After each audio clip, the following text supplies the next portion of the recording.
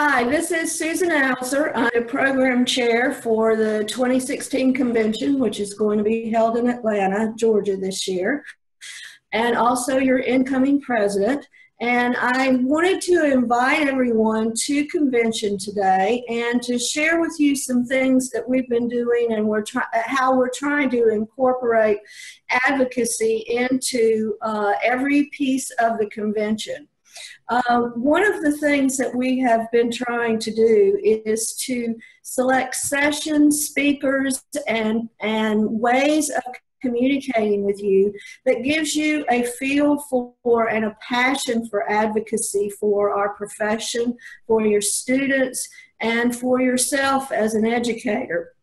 And we feel like we've done this with the kinds of people that we're bringing in and also the kinds of sessions that we are, are bringing to you this year.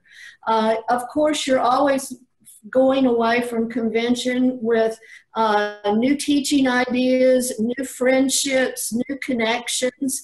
And uh, that's always one of the very positive things about coming to NCTE uh, on an annual basis.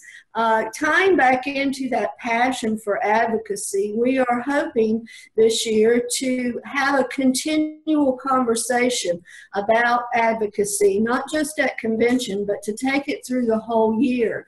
And we're planning to do that with communication with the groups and with the people that you have connected to here. So that's a very exciting piece that we're trying to add in this year. And I'm hoping that it will also encourage you to come to convention.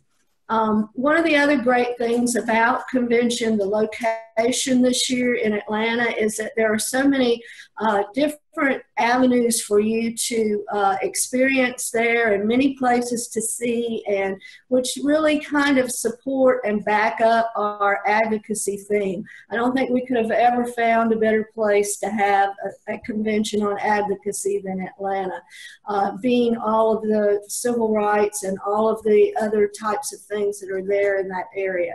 So I encourage you to come and bring friends with you and also uh, try and bring people that you work with so that you can uh, build on some of the things that you learn in convention and take them back home with you and implement them.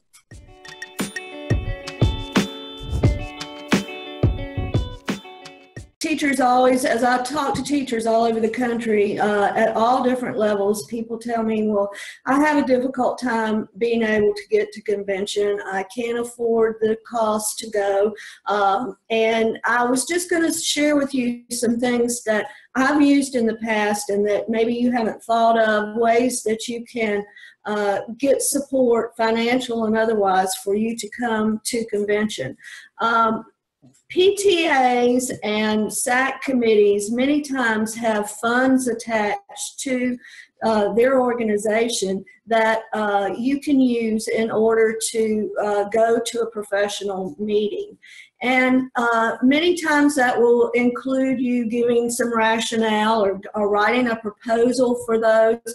But uh, those boards sometimes will allow, they may not be able to pay for the entire convention, but can give you some expense money for going towards your trip.